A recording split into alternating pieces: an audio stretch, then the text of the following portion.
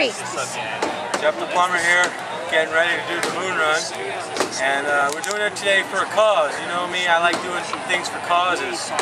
This is my friend David Buchanan. He suffers from ALS. So obviously he doesn't have the capability of doing the run on his own, but we're here to support him and, uh, and help him through. And you know, other people out there have ALS need people to support them through their cause. Like my friend over here, Peter, Peter does Team Triumph, which is another organization which helps people who are no longer able to run themselves in wheelchairs finishing the line. And that's the key. The key is always to see you at the finish line, no matter what your limitations are.